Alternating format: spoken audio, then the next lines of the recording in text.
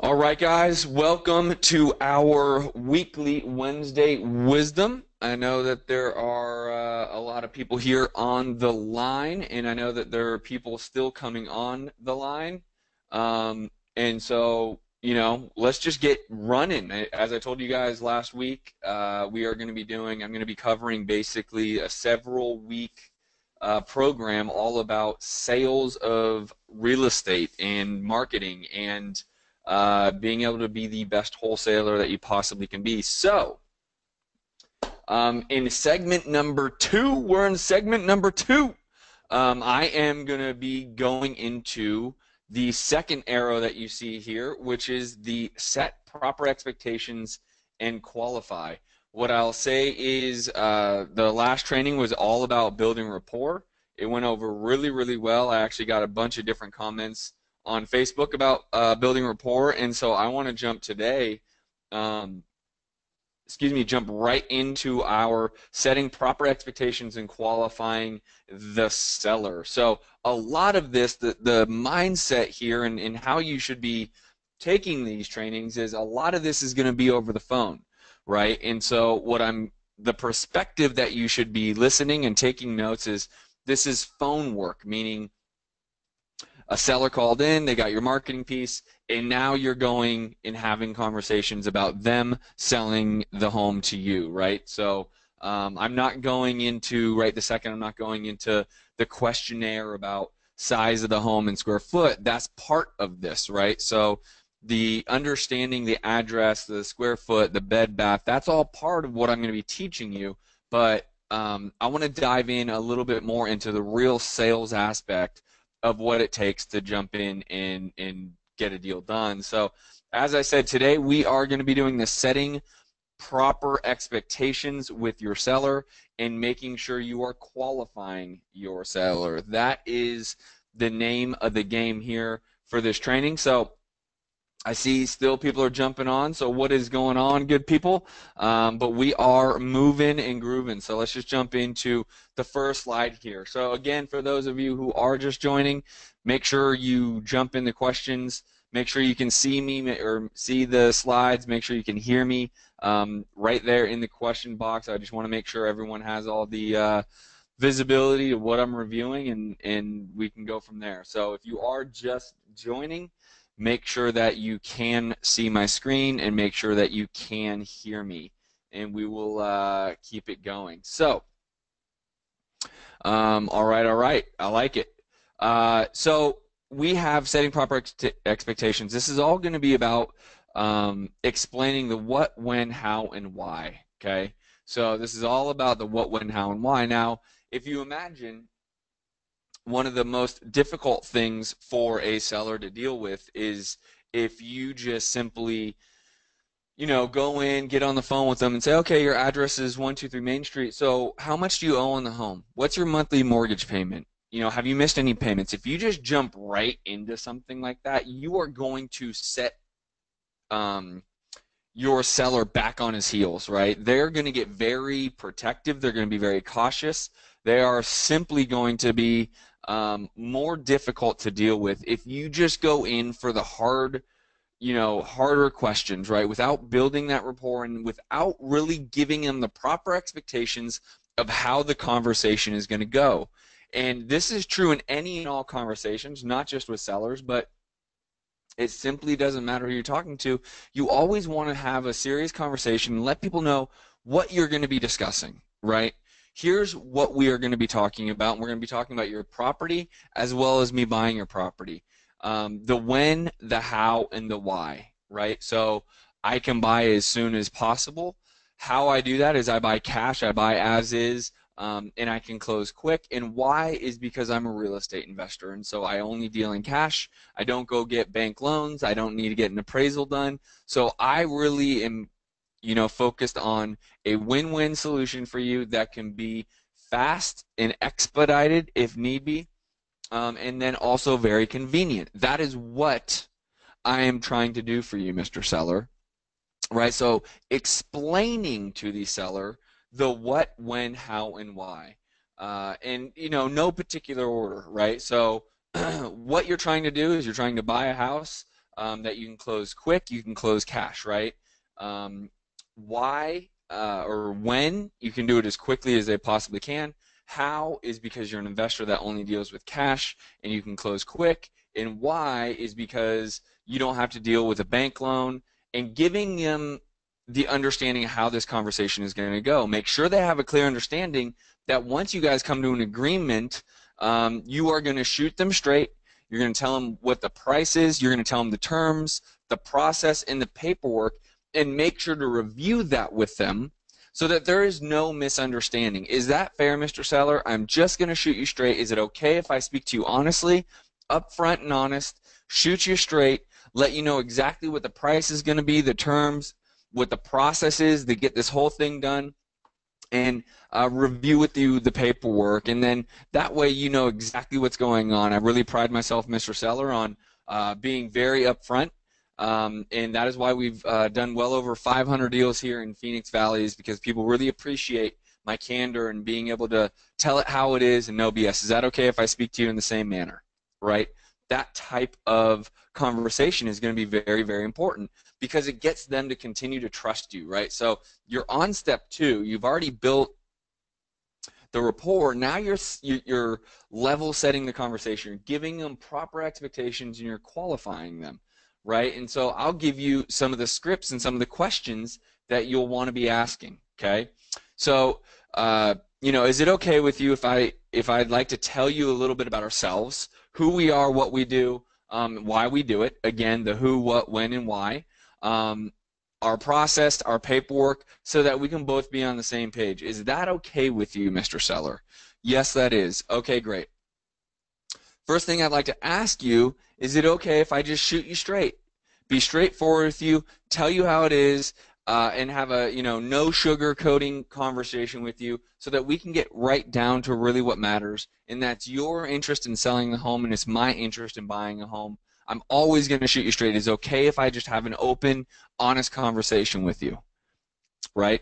That would be a key question and or statement right? It can be viewed uh, in two different ways to let their guard down, right? Let's let's get it out there that you're just going to shoot them straight. You're going to have an honest conversation with them. You're not going to hide anything. You're not going to, you know, um, try to steal their home, which is obviously what everyone thinks investors do. And I shouldn't say everyone, but that's part of their guard um, because that's what you know they hear about in the news and, and what happened years ago. So um, I just that's you know quite honestly I would flip flop that if I was going to build the slide again I'd flip flop that and make that the first bullet point and that's simply to get out of them. Is it okay if I'm just straightforward with you? Uh, tell you how it is, be honest with you, and be upfront um, about what's going on with your property, what I think it might need, the purchase price I need to have it at, and how much work it needs. Is that okay if I speak to you honestly? Right there, you're getting the green light to have some of the more harder hitting questions be accepted. Okay, um, like I started this training out, very difficult um, to have a hard hitting conversation, asking hard hitting questions if you don't have their approval first, right? Um, so if you go right into, hey, Mr. Seller, I'm interested in buying your home on 123 Main Street. Listen, tell me about um, how big your loan is. How long have you owned it? What's your monthly mortgage payment, right? Um, you're going into some personal stuff, and that at times can be very, very difficult for someone to receive. They don't know you. You know, you haven't done a good job being able to um, tell you, tell them what you do, how you do it, when it's done, and why you do it. Right. So you need to take these steps seriously, right? And then if they say great, which 99% of the time they are going to say yes, I want you to shoot me straight, right? No one says, man, you know what? I'd really just like you to lie to me today. Just just flat out lie to me for this conversation, right? You're not going to hear that from anybody. So they're going to say yes, you're going to say great, and then you're going to go into um, you know the next one, which is with that said, I'm going to ask you some questions about your situation, about the property. The more information I know about the property, the better offer I can give you. So you're setting the level, you're setting the proper expectations. The more open you are, Mr. Seller, about your property, the better offer I can give you. So, you know, based around my my last question about being able to shoot you straight, be honest with you, have an open conversation. And now, quite frankly, you understanding the reason why I'm doing that is because the more I understand about your property, the better my offer can be for you. Um, so is that okay, Mr. Seller? Again, you're getting these people to open up to you. You're breaking down the wall of hesitation, of reservation that they very commonly have. You are dealing with something that um, is very private for most people. Um, it's very difficult for them to come to the realization that they potentially need to sell their home, um, depending upon what is happening. So you are simply setting the proper expectations, and you are simply qualifying the conversation, right? So another question, after or another statement slash question is, after we discuss your situation, Mr. Seller, and the property, I will be running some numbers, and then I'm going to give you a call back. I then will set a time to meet you at the property or give you a written offer for your property. Now, that is going to be your choice, right? So, um, we do two different business models here in our office, right? And so, what I would really suggest is for you guys to be very, very good over the phone because we absolutely get properties under contract over the phone. We've never met with the seller. We simply didn't even go see the home, which would be a little contradictory to what a lot of you guys have heard about wholesaling and the process of meeting with the seller, shaking the hands, walking the property, pointing out some faults in the property. But we have the experience that we can actually go in there, know the you know age of the home, um, understand the situation they're in, and basically come up with a pretty good, based through our questioning, based through finding out the year built, the size of the home, the last time they've updated anything, you know, we can ballpark a pretty good number. Now, if we do that all over the phone, um, you know, one strategy of doing that all over the phone is making sure you're you bracket the number. Okay, so if you're going to do this over the phone, um, which is a component of what we do, and especially in Dallas, right? We do everything over the phone in Dallas. Um, I bracket a number and say, hey, listen, Mr. Seller, I'm calling you back as I said I would. I really appreciate you giving me the time. Um, the numbers I'm looking at are probably you know anywhere between 110,000 and 130,000. Are we in the right ballpark here? Is that something that seems acceptable to you? And you are going to get an answer out of them. You are going to get, oh man, I was expecting 175,000. There's no way I'd take less than 175. Well, now you know. Now you know you're not even really close. Or, yeah, that's you know that's probably about where I expected to sell. Now you're also close. Now at that point, again, if necessary, you can go visit the property.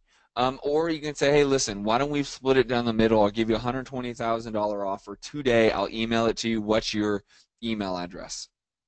And we'll do it over the phone. Conversely, um, in a more of a traditional meet the seller, walk the property, know the rehab budget, uh, you can set an appointment to meet at the property, meet the seller, so that you can do more of the traditional meet and greet, shake the hand, make sure that they know you're real, you know they're real, you see the property, you can point out some faults in the property, you can set the expectations physically with the owner right? So you can say, hey, when was the last time you redid your roof? Oh, 30 years ago. Hey, when was the last time you redid your pool? Oh, 30 years ago. When was the last time you got a new AC? Oh, eight years ago, right?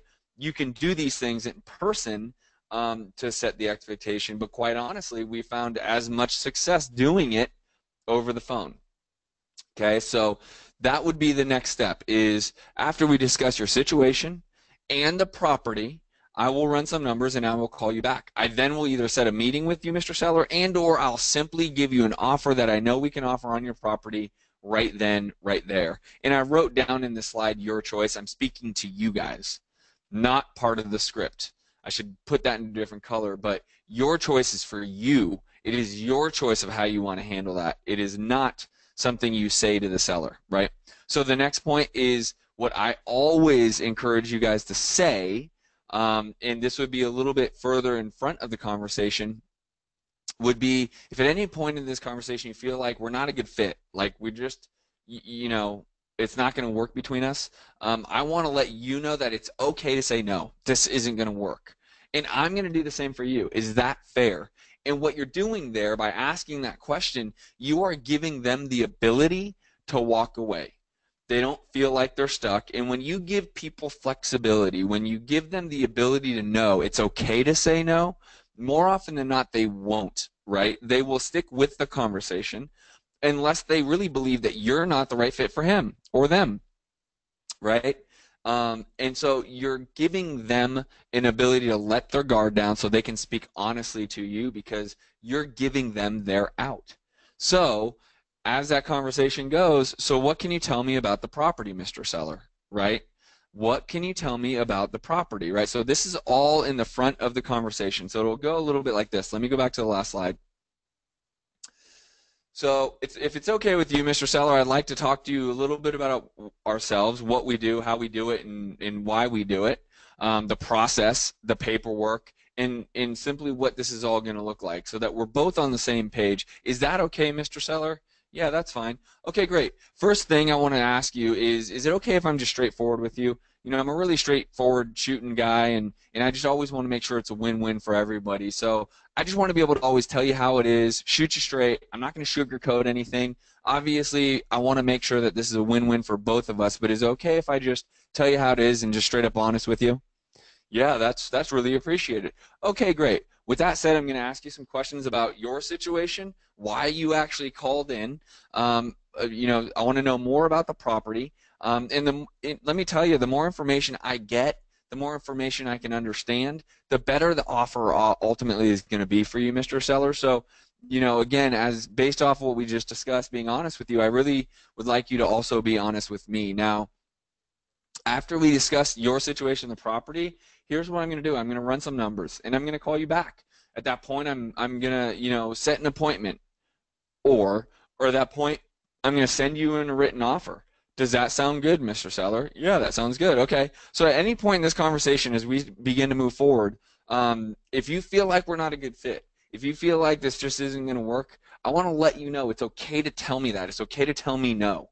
Um, and I will absolutely do the same for you. Is that fair, Mr. Seller? Perfect. Okay. So let, why don't we get started? So what can you tell me a little bit about the house? Boom. You're right in the conversation, right? Um, or you can change that into, so why don't we get started? Let me tell you a little bit about us. My name is Justin. I'm a local investor. And you go right into telling your story a little bit and you follow it up with tell me a little bit more about the property, right? You go right into it. That's how you set the proper expectations here's what I do, here's how I do it, here's how, when I do it, and here's why I do it. Now, with all that, I just want to be upfront and honest with you. If you can do the same for me, that would work really well. Feel free to say no at any time, but why don't we just get started here? Right? That's how you level set that. That's how you set the proper expectation and qualify their motivation. Now, here's a couple I wanted to add in here is is um, I knew this wasn't going to be an extra long training, so I wanted to be able to give you some objections, right? So the seller might say, I thought you knew what property it is, right? So, and I'm sure you guys hear this a lot. You send out a thousand mail pieces, maybe you're sending out 2,000 mail pieces, and a seller says, wait a minute, you sent me the mail pieces. I thought you knew my property address. Why are you asking me my property address, right? Happens often. And your response is simple tell them the truth. I'm a real estate investor and I mail out a handful of letters every week into the areas I'm interested in buying in. Um, so with that being said, uh, you know, I don't know absolutely every single address. So, you know, what's the inter- what, what's the reason you gave me a call back? Right? So, again, just shoot them straight. I send out a bunch of mail. I don't know every single address by heart, and then I wait to see who calls me. So listen, Mr. Seller, is there a reason you gave me a call? I mean, just just answer it honestly, right? The, the best way to always communicate is coming from a place of honesty. Um, never sugarcoat things. Tell them how it is. I'm interested in buying a home before the year's over. I send out a handful of mailers into the areas that I have interest in, um, and then I wait and see who calls me back. Is there any reason you gave me a call? Boom, straightforward, right? Just always be straightforward another common obje- objection is why are you asking me all these questions, right? Because as you go down this path, is you're going to be asking a ton of questions. It's going to feel like 20 questions. They're going to feel interrogated. So you just want to be um, as as open as possible and say, listen, I totally understand that you probably feel a little interrogated right now. I'm just trying to do the best I can to get you the best offer I can get you. I want this to be a win-win. So the more I know about the property, the better offer I can get you. Is that fair to say, Mr. Seller? Again, you're just shooting them straight, right? Because at the end of the day, us as buyers, if we don't have much information and we just are going off a, you know, I think, which is not the way to do it. It's not a strategy just to think.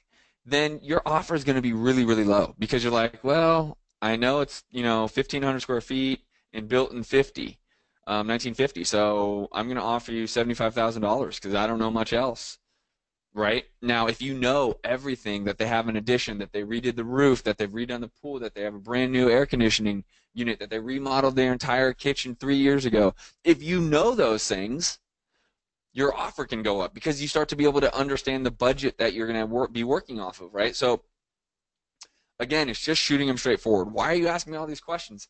Mr. Seller, I totally understand you probably feel a little interrogated. That's not my intentions here. Quite honestly, my intentions, as I mentioned to you earlier, is I just want to shoot you straight. And the best way I can do that is to give you a fair offer that you uh, like and can move forward with. And for that, I need to get as much information as I can. Okay, so I can get you the best offer. Is that fair? And then the third objection is you're not going to lowball me, right? I mean, that's more often than not, most sellers' main concern is I'm going to call this guy and Justin's just going to give me a low ball offer, 50 cents on the dollar, and I don't want to take it. I don't want to deal with that, right? So I'm going to list it. So if they ask you that question, again, honesty, best policy.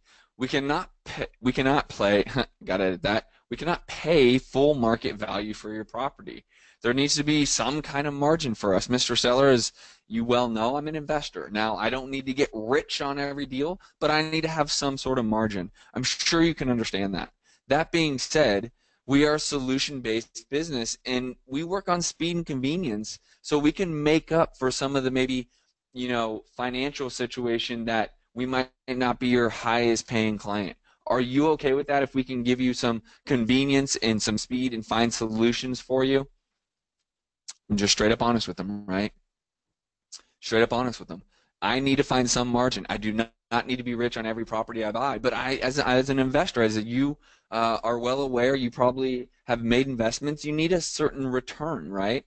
So, with that being said, I can't pay market value, but I can give you convenience. I can give you solutions, and quite frankly, I can give you speed if you so need it. Is that okay, Mr. Seller? That's how you handle it, right? That's how you handle it. So, this is all about setting the proper expectations, qualifying your seller, being upfront, honest, shooting them straight. So so important, right? And to not to not try to squirm out of the questions they're asking you, right? To to answer them honestly, to give honest feedback, to shoot them straight, and you guys are going to start getting deals. That's just how this goes, right? And so this is step two um, of the real estate investing sales system that we built. Um, if you have any questions, no one's asking me any questions yet, which is a good thing. It means it's straightforward. If you have any questions, please feel free to jump into the question box, ask me questions, um, and I'm happy to answer them. What is up, everybody? So many people on here. Lonzo, Brett, Deborah, Kelly, Kyle, Matt, Paul, Raphael, what up? Robert, several Roberts. Robert and Robert, right? So there's, if I'm missing your name, it's just because there's too many. So um, no questions. Oh, here we go. Here we go. What do you do when the seller says that they are talking with mul- multiple investors? Well, that's a great question too, right? So my philosophy in our office I want to be the first in the door, and then I want to be the last in the door.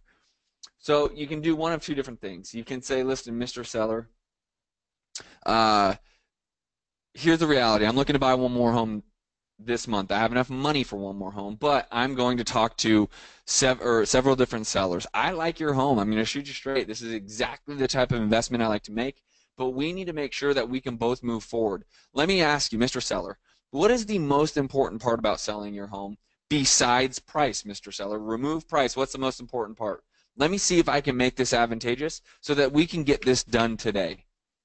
Boom. Hit him straightforward, right? I'm not lying to him. I'm just I'm telling them how it is. What do I need to do? Because at the end of the day, it's not always price. You know, more often than not, we get deals simply because we have great follow up, because we help give them a solution. Like we, we actually did a deal this week where um, it was a it was a family feud. right? And the seller, which was one sister, was having a feud with another sister. She had to just get it done. She wanted speed. Speed was her biggest caveat, and we got a $10,000 discount on it because the number we both agreed on, all of a sudden she said she wanted to close in the next five days. So like, all right, well, if we're going to be able to get this done, I need a discount to make it work that quick, right? Because I'm going to have to pull some money. It's going to cost me money to pull some money. I need to be able to get it in the property. So we're going to go from 135 to 125. Fair enough. Otherwise, I, you know, I got to stick to my 135 number. So I got another $10,000 on top of the deal that I already liked at 135, right? And so we're giving them a solution. So it's the great question, um, asking what the most important part is, and then shooting them straight and saying, listen, my offer is very real. It's right here. It's right now. Um, you know, why do you need to go elsewhere? Is because what you're trying to get the highest and best offer. I'm telling you, this is a good offer, and it might not be here later if people start to lowball you, right? Now, what I can tell you is if you go and talk to a bunch of different um, investors and tell them what my offer was, they're going to go up higher just to get the deal under contract, but then they're going to call you and say, I can't do it, and they're going to back out. I'm not going to do that to you. Take my offer and let's get this thing open, right? That's how you handle it, Brett. What up, Raphael? Ha! I'm a I'm a negotiating ninja. That's it, man. That's it. Appreciate it. Um, and for those of you who are interested in sales and negotiating and persuading and I mean, I have a true interest in it, right? So I run our weekly meetings for the company and I talk to them a lot about how to renegotiate if the seller's not open to a cash offer, maybe do different type of stuff. So um, Grant Cardone is a great individual to, to follow. He's all over YouTube and social media and everywhere. Um, he has a great training program. It's a little expensive, but it is great.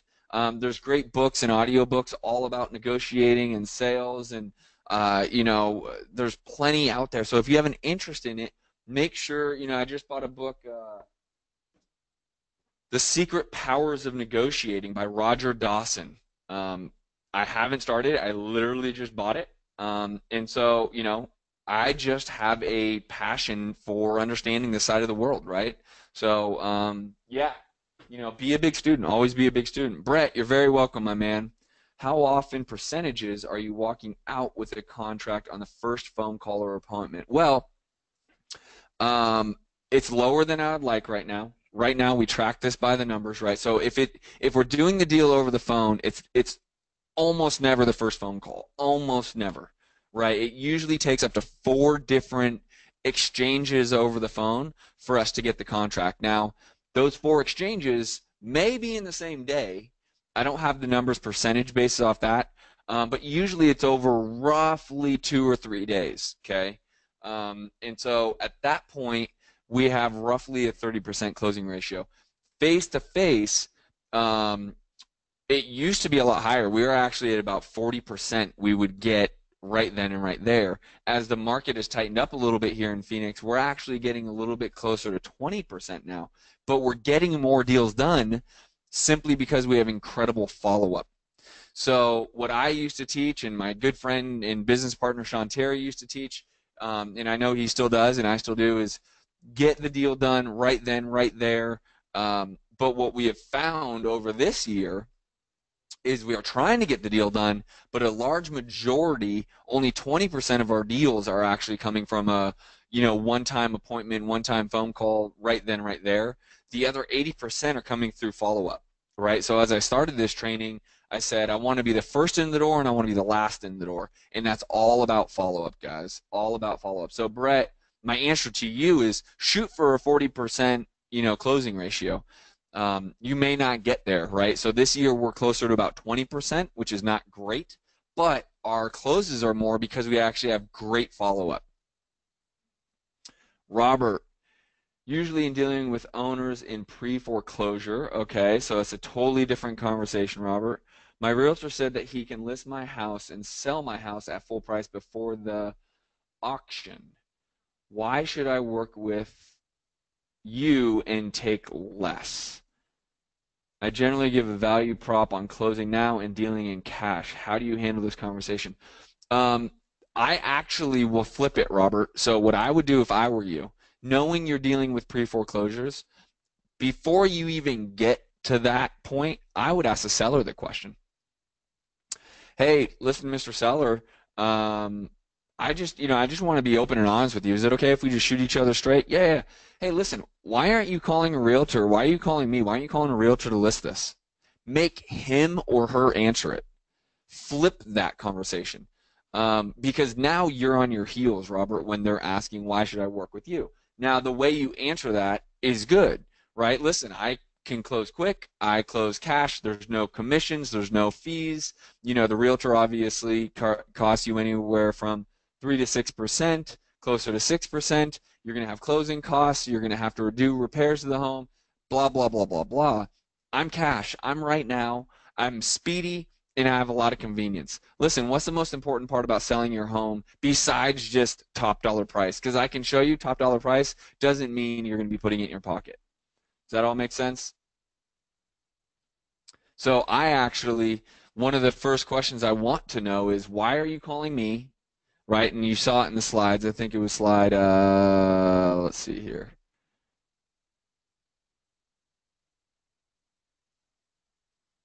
I think it was slide four. Is it okay how to, uh, first thing on like to straightforward, tell me how it is, you straight true. Interesting, where I put it?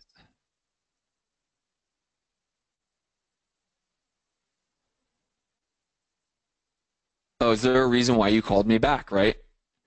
Um, use that, right? What was your reason for calling me and not a realtor?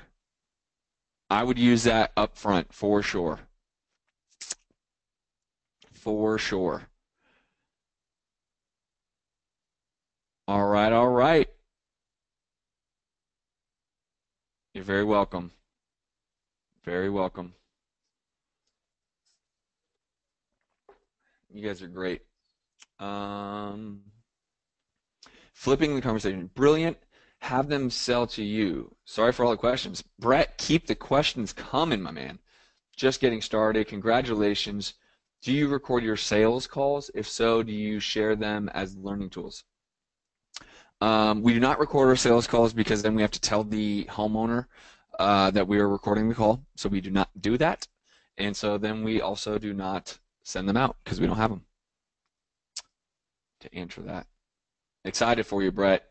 Excited to help you. Be here on every Wednesday. We are going to get you going. We're here for you.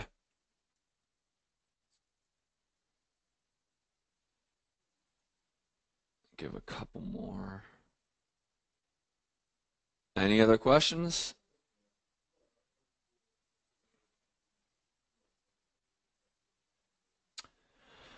Well, right on. That is step two. Um, I will be back next week as usual. I actually will be in our Dallas location. Um, so I will be recording from Dallas. We will be doing step three next week. And uh, I look forward to seeing you guys next week. Peace.